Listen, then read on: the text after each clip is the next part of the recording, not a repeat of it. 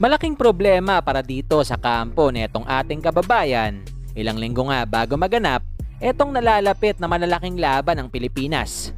Yan eh matapos mong ilike ang video na ito, mag-subscribe sa ating channel at pakidamay na rin ang ating opisyal na Facebook page. Pero bago natin simulan, eh, alam mo bang isa ang 1xBet sa mga leading betting company sa buong mundo? Kaya naman wag nang magdalawang isip pa at tumalpak na. Isang linggo na nga itong nakalipas mga bulero matapos ang naganap na huling ensayo ni Kai para sa koponan ng Knicks. Eh still, ngayon ay tahimik pa rin ang balita patungkol sa ating kababayan. Especially simula nung kinumpirma last week na itong si Homer Saison sa isang panayam na ngayon ay nasa waiting stage pa nga rin daw itong si Soto. Umuwi na siya, nasa LA na. And it's basically a waiting game. Uh, antay na lang kung may tatawag ba sa kanya, whether it's the Utah Jazz, whether it's the Dallas Mavericks, or the New York Knicks. Pero sa kabila nito, eh kamakailan lang ay muling binasag ng isang panatiko mula sa koponan ng Knicks etong katahimikan ngayon ng mga Pinoy fans.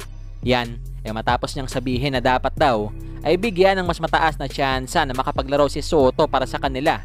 Sa kadahilan ng tiwala nga raw siya na meron pang mga bagay na di pa na ipapakita si Kabayan na posibleng mailabas niya sa nasabing koponan.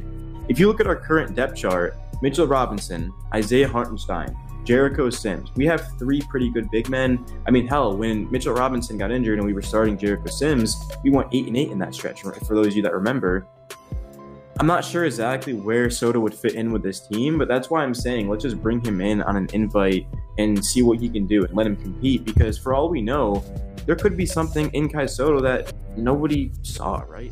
Samantala sa kabilang banda, Eh ilang araw nga simula nung naganap itong first practice ng Team Pilipinas para sa kanilang magaganap na bigating mga laban. Eh ngayon eh talagang malaking problema pa rin para sa kampo ni Kai etong kanyang availability.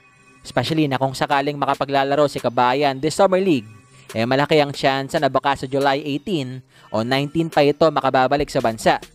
Kung saan maliban nga rito sa naganap na unang ensayo ng mga bata ni Chot, eh naging laman din ang usap-usapan sa araw na yan Etong mga salitang binitawan ng isa sa mga tao ng SBP na tila mo'y binibigyan ng taning si Soto.